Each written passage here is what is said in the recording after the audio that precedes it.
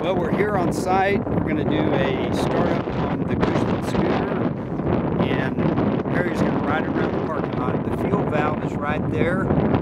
It also has a choke, but it's nice warm weather, so we're not going to choke it.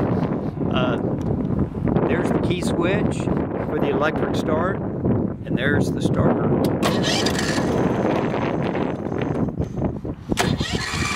And this one is a is a V twin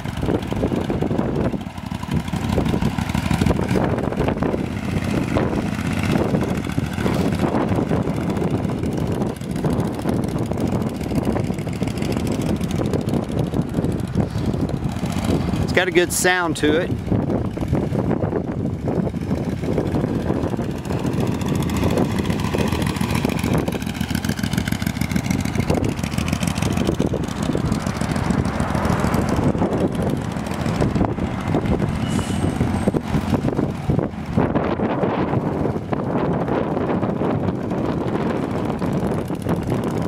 This one's capable of over 60 miles an hour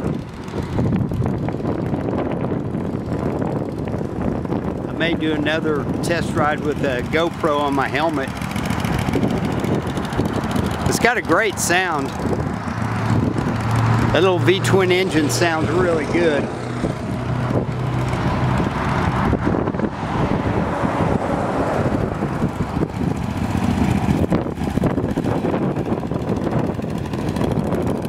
Good luck with your bids on this no reserve auction we're here on site at Texas Best Used Motorcycles. I'm going and stop. Perry's gonna get off. We're gonna let it idle and let you hear it for a minute.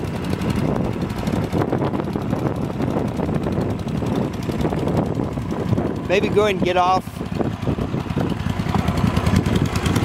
Or you know what, let's pull it up over there in the shade.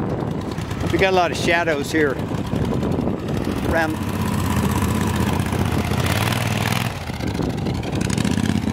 This one has a larger tire on the back than the front. And the guy that owned it was a was actually the president of a Cushman scooter club in Groesbeck, Texas.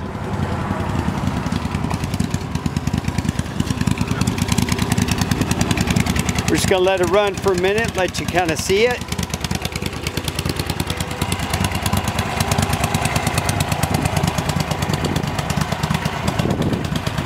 You want to trade your Harley in?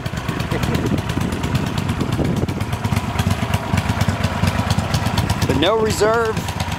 Last bidder, come get her. Have a great day. I'm Bronco Bob wishing you happy trails.